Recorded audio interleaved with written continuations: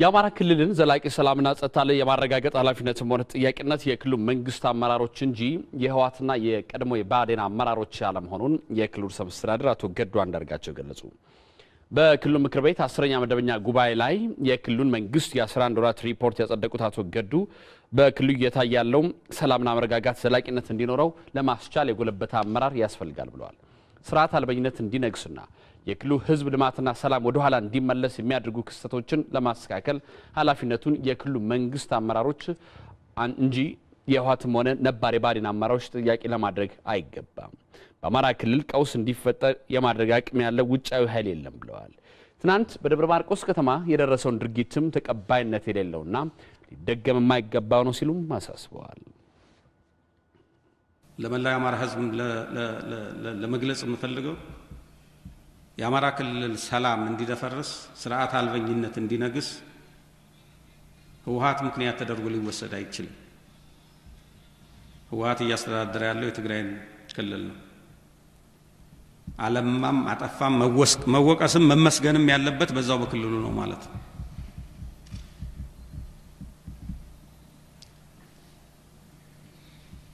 ከመጠን ባለፈ ጥላቻ የአማራ ክልል ሰላምና ደህንነት ለአደጋ እንዲጋለጥ የሚያደርገው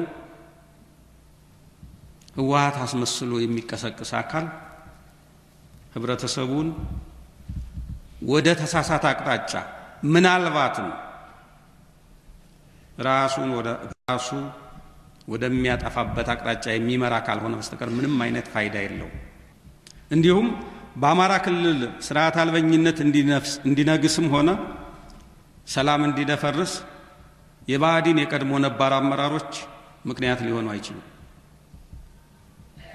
የብአዴን የቀድሞ ነባር አመራሮች በወቅቱ ኃላፊነታቸውን በጥሩ በመጥፎም የሰሩት ይህ ህዝብ እንዲለወጥ የበኩላቸውን ድርሻ ተወጥተዋል። በዛ ላይ ያለ ጥንካሬና ድክመት ካለፈ ጋር እያ የምንመለከተው ነው። ለአሁኑ የአማራ ክልል ሰላም መስፈን የሚሆን ሰላም መናጋት ያላቸው ድርሻ በጣም ዝቅተኛ። ትናንት ደብረ ማርቆስ የተፈጸመው ለማንም ንጹሕ ሕሊና ላለው ሰው ለመስማት እጅግ የሚያሳፍር ለእኔ ራስን በራስ የማጥፋት እንቅስቃሴ አድርጌ ነው የምመለከተው። ራስን በራስ የማጥፋት እንቅስቃሴ በሌለ ነገር ላይ ተመስርቶ የራሱን ከተማ የማጥፋት እንቅስቃሴ ሪፖርተራችን ስመኛ ወርዳው እንደዘገበው የክልሉ ርዕሰ መስተዳድር አቶ ገዱ አንዳርጋቸው ነጻነትና ፍትህ የምንሻውን ያህል የህግ የበላይነትን ለማክበር ለማስከበርም በጋራ መስራት ይገባል ሲሉም ነው ያሳሰቡት።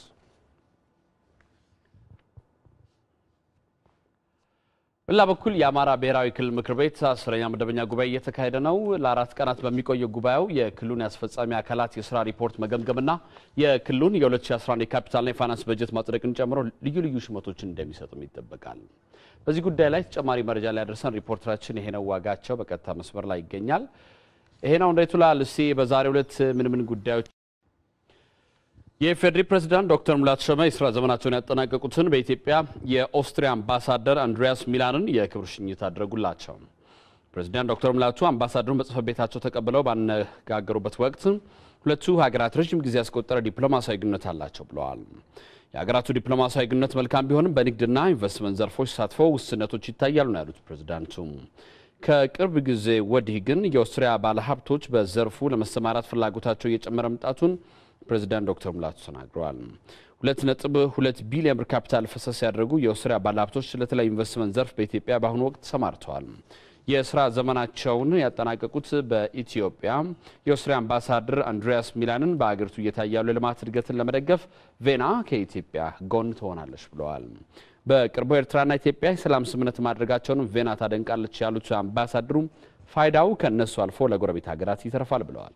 ዘገባው የሪፖርተራችን ሰለሞን አበጋዝ ነው።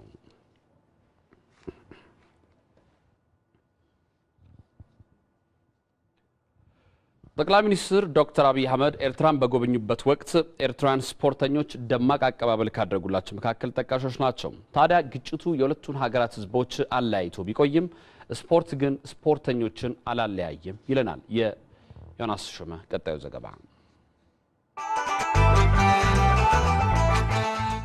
የሁለቱ ሀገራት ድንበር ለ20 ዓመታት ዝግ ሆኖ ቢቆይም ስፖርተኞቹን ግን አላራራቀም ስፖርቱ። የሁለቱም ሀገራት ስፖርተኞች በዓለም አቀፍ መድረክ በተገናኙ ቁጥር አብረው ጥሩ ጊዜን አሳልፈዋል። ድንበሩ ሳያግዳቸው የሆድ የሆዳቸውን አውግተዋል። ከልብ የመነጨ ፍቅርና መፈላለግን በፎቶግራፍ አስቀርተውታል።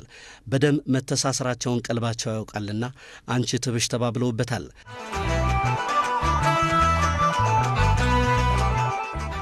በአትሌቲክሱ ኤርትራውያንና ኢትዮጵያውያን አትሌቶች ስፖርታዊ ጨዋነትን ብቻም ሳይሆን ከዛም ባለፈ ወንድማማችነታቸው ባገኙት የስፖርት መድረክ ሁሉ ገልጸውታል። ግንቡን አፍርሰው የፍቅር ድልድይ የገነቡት ዶክተር አብይ አህመድ አስመራን ሲረግጡም የቀድሞው international ዳኛ ተስፋዬ ገብረ ኢየሱስና የሶስተኛው አፍሪካ ዋንጫ ባለውለታዎች በአስመራ ጎዳና በመገኘት ጥልቅ ፍቅራቸውን ገልጸውላቸዋል። የቀድሞ ኢትዮጵያ ብሔራዊ ቡድን ተጫዋች ነጋሽ ተክሊት ያስተዋውቃል። ተስፋዬ ገብረ ኢየሱስ፣ ተክሌ ኃይለ ተስፋ ጋብር፣ ይጣሎ ባሳሎ፣ ጋሽ ታሎ እንኳን ደስ አሉት ስለተገናኘን። እስማኤል መሐመድ፣ ነጋሽ ተክሊት ከአስር ዓመት በላይ የኤርትራ ብሔራዊ ቡድንን ያሰለጠነው የቀድሞ የሴካፋ ባለውለታ ነጋሽ ተክሊት በአንድ ወቅት ከስፖርት አሜሪካ ጋር በነበረው ቆይታ የአዲስ አበባን ትዝታው እንዲህ ሲል ነበር የገለጸው። አዲስ አበባ ደግሞ ጥሩ ጊዜ አሳልፋለሁ። ስመለስ ያኔ ጥሩ ስም አለ። ከጨዋታ በኋላ ደግሞ የሆነ ቦታ ወጣ ወጣ እንላለን። ብዙ girl friend ኦች ምናምን ያ ትዝታ ወጥተን መቼ እንመለሳለን ነበር ምለው። መቼ ነው Ethiopian Airline መጥቶ የሚወስደን ነው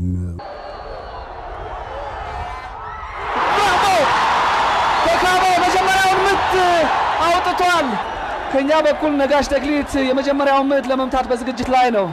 ነጋሽ ግቧን እንደሚያስቆጥርም ተስፋ እናደርጋለን።